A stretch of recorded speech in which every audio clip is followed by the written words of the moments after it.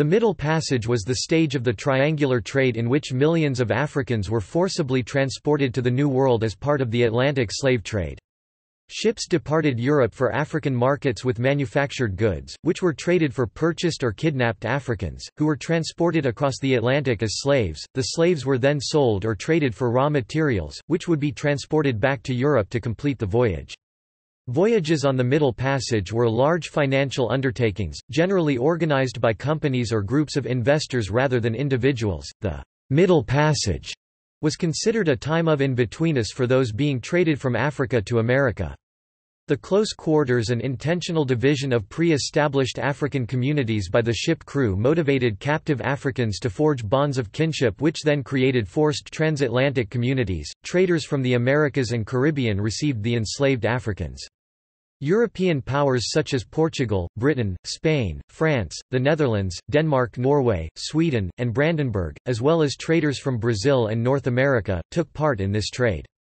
The enslaved Africans came mostly from eight regions, Senegambia, Upper Guinea, Windward Coast, Gold Coast, Bight of Benin, Bight of Biafra, West Central Africa and Southeastern Africa. An estimated 15% of the Africans died at sea, with mortality rates considerably higher in Africa itself in the process of capturing and transporting indigenous people to the ships. The total number of African deaths directly attributable to the Middle Passage voyage is estimated at up to 2 million. A broader look at African deaths directly attributable to the institution of slavery from 1500 to 1900 suggests up to 4 million African deaths. For 200 years, 1440 to 1640, Portuguese slavers had a near monopoly on the export of slaves from Africa. During the 18th century, when the slave trade transported about 6 million Africans, British slavers carried almost 2.5 million.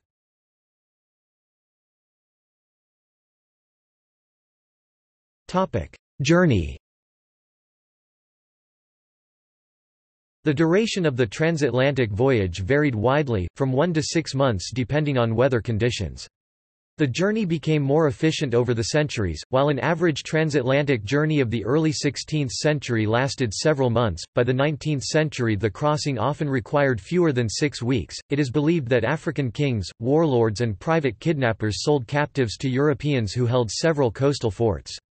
The captives were usually force marched to these ports along the western coast of Africa, where they were held for sale to the European or American slave traders in the barracoons. Typical slave ships contained several hundred slaves with about 30 crew members. The male captives were normally chained together in pairs to save space, right leg to the next man's left leg while the women and children may have had somewhat more room. The chains or hand and leg cuffs were known as bilbos, which were among the many tools of the slave trade, and which were always in short supply. Bilbos were mainly used on men, and they consisted of two iron shackles locked on a post and were usually fastened around the ankles of two men. At best, captives were fed beans, corn, yams, rice, and palm oil. Slaves were fed one meal a day with water, if at all.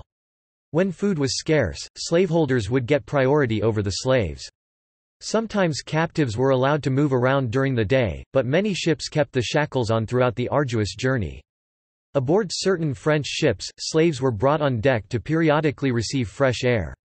While female slaves were typically permitted to be on deck more frequently, male slaves would be watched closely to prevent revolt when above deck. Slaves below the decks lived for months in conditions of squalor and indescribable horror. Disease spread and ill health was one of the biggest killers. Mortality rates were high, and death made these conditions below the decks even worse. Even though the corpses were thrown overboard, many crew members avoided going into the hold. The slaves who had already been ill-ridden were not always found immediately.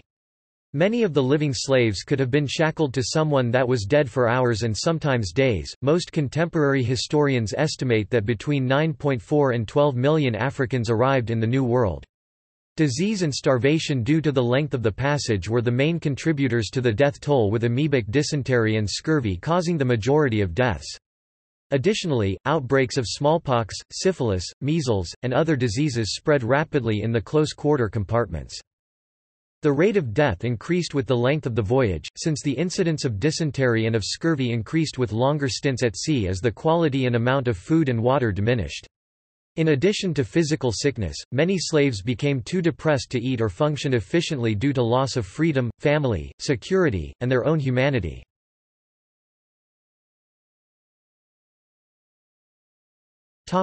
Sailing technologies The need for profits in the 18th century's Atlantic market economy drove changes in ship designs and in managing human cargo, which included enslaved Africans and the mostly white crew. Improvements in airflow on board the ships helped to decrease the infamous mortality rate that these ships had become known for throughout the 16th and 17th centuries. The new designs that allowed ships to navigate faster and into rivers' mouths ensured access to many more enslaving posts along the West African coast. The monetary value of enslaved Africans on any given American auction block during the mid-18th century ranged between $800 and $1,200, which in modern times would be equivalent to $32,000 minus $48,000 apiece $100 then is now worth $4,000 due to inflation. Therefore, ship captains and investors sought technologies that would protect their human cargo. Throughout the height of the Atlantic slave trade, 1570 to 1808, slave ships were normally smaller than traditional cargo ships, with most slave ships weighing between 150 and 250 tons. This equated to about 350 to 450 enslaved Africans on each slave ship, or 1.5 to 2.4 per ton. The English ships of the time normally fell on the larger side of this spectrum and the French on the smaller side. Ships purposely designed to be smaller and more maneuverable were meant to navigate the African coastal rivers into farther inland ports, these ships therefore increased the effects of the slave trade on Africa. Additionally, the ship sizes increased slightly throughout the 1700s, however the number of enslaved Africans per ship remained the same. This reduction in the ratio of enslaved Africans to ship tonnage was designed to increase the amount of space per person and thus improve the survival chances of everyone on board. These ships also had temporary storage decks which were separated by an open latticework or great bulkhead. Ship masters would presumably use these chambers to divide enslaved Africans and help prevent mutiny. Some ships developed by the turn of the 19th century even had ventilation ports built into the sides and between gun ports with hatches to keep inclement weather out. These open deck designs increased airflow and thus helped improve survival rates, diminishing potential investment losses. Another major factor in cargo protection was the increase in knowledge of diseases and medicines along with the inclusion of a variety of medicines on the ships. First the Dutch East India Company in the 18th century, followed by some other countries and companies in the late 18th–early 19th centuries, realized that the inclusion of surgeons and other medical practitioners aboard their ships was an endeavour that proved too costly for the benefits.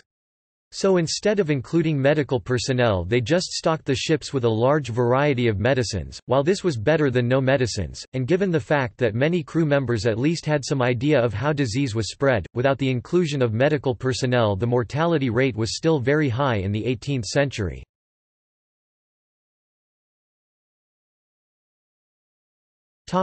Slave treatment and resistance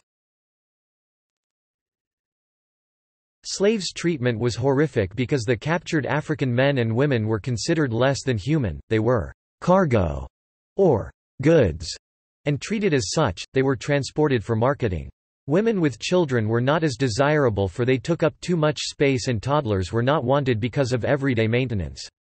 For example, the Zong, a British slaver, took too many slaves on a voyage to the New World in 1781. Overcrowding combined with malnutrition and disease killed several crew members and around 60 slaves. Bad weather made the Zong's voyage slow and lack of drinking water became a concern. The crew decided to drown some slaves at sea, to conserve water and allow the owners to collect insurance for lost cargo. About 130 slaves were killed and a number chose to kill themselves in defiance, by jumping into the water willingly. The Zong incident became fuel for the abolitionist movement and a major court case, as the insurance company refused to compensate for the loss. While slaves were generally kept fed and supplied with drink as healthy slaves were more valuable, if resources ran low on the long, unpredictable voyages, the crew received preferential treatment. Slave punishment and torture was very common, as on the voyage the crew had to turn independent people into obedient slaves. Pregnant women on the ships who delivered their babies aboard risked the chance of their children being killed in order for the mothers to be sold. The worst punishments were for rebelling. In one instance, a captain punished a failed rebellion by killing one involved slave immediately, and forcing two other slaves to eat his heart and liver. As a way to counteract disease and suicide attempts, the crew would force the slaves onto the deck of the ship for exercise, usually resulting in beatings because the slaves would be unwilling to dance for them or interact. These beatings would often be severe and could result in the slave dying or becoming more susceptible to diseases.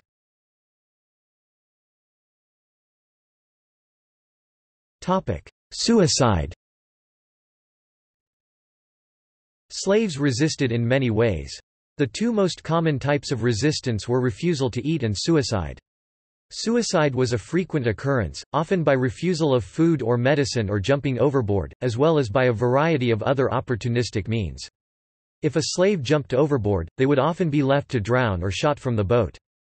Over the centuries, some African peoples, such as the Kru, came to be understood as holding substandard value as slaves, because they developed a reputation for being too proud for slavery, and for attempting suicide immediately upon losing their freedom. Both suicide and self starving were prevented as much as possible by slaver crews. Slaves were often force fed or tortured until they ate, though some still managed to starve themselves to death. Slaves were kept away from means of suicide, and the sides of the deck were often netted.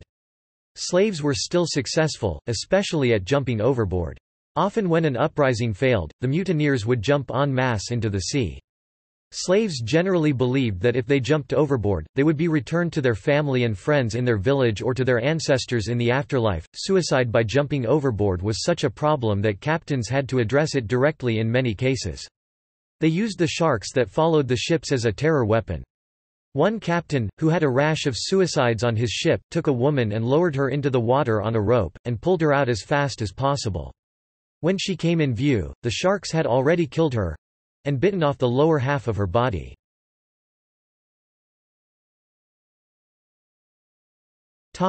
Identity and communication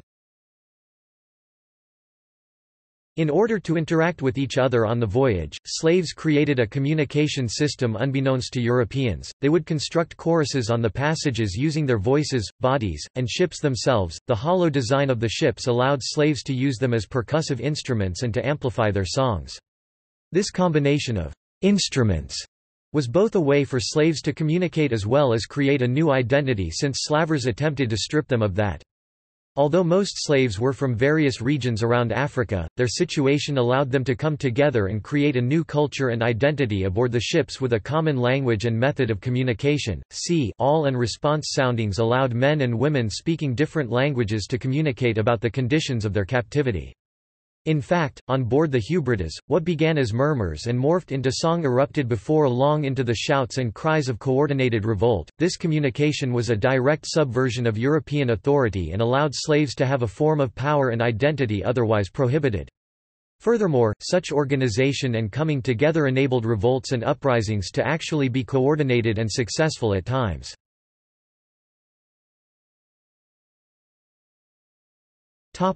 Uprisings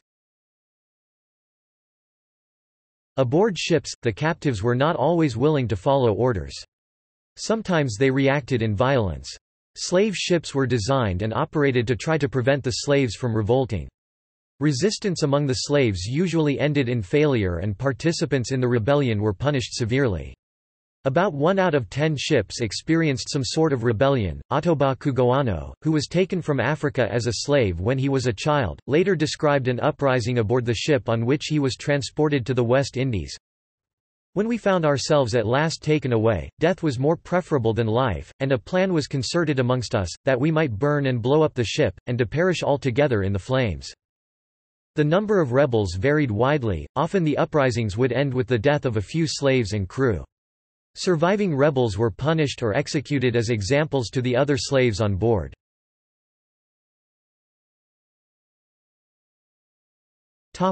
African religion Slaves also resisted through certain manifestations of their religions and mythology.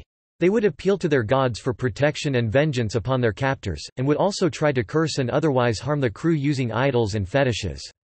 One crew found fetishes in their water supply, placed by slaves who believed they would kill all who drank from it.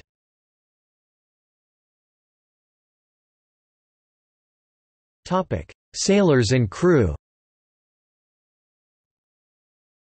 While the owners and captains of slave ships could expect vast profits, the sailors were often badly paid and subject to brutal discipline.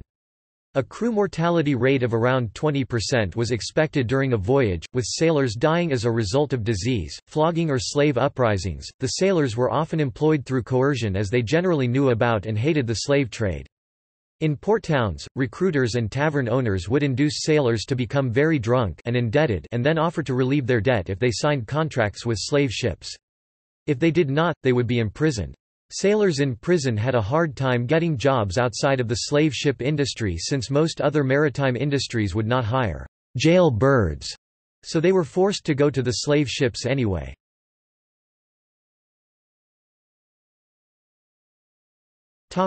See also Abolitionism. Abolitionism in the United Kingdom. Abolitionism in the United States Atlantic slave trade European colonization of the Americas History of Africa Ma'afa Press gang Slave ship Triangular trade